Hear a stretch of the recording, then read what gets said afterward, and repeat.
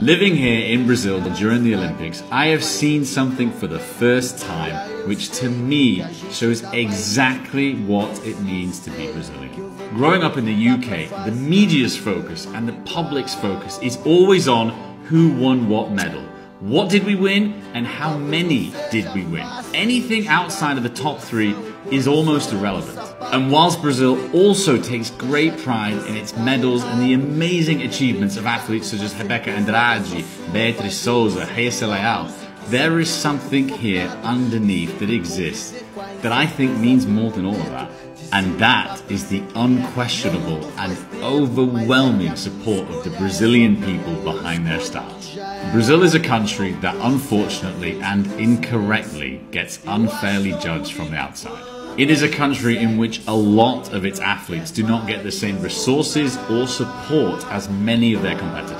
But yet, it is a country that despite that, many of its athletes have overcome unbelievable odds to take their place on the podium in front of the eyes of the world. I have seen friends here that have come to tears at seeing someone finish 10th because they can relate to what it means to that athlete and to them as a Brazilian. To watch the Olympics here in Brazil for the first time in my life has shown me what the games are really.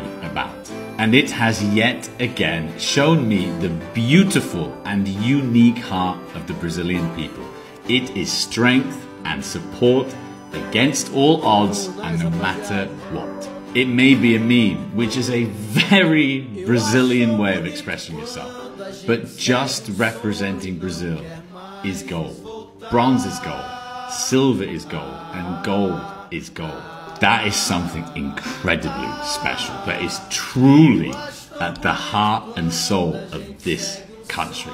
And that is incredibly and undeniably Brazilian. Wow.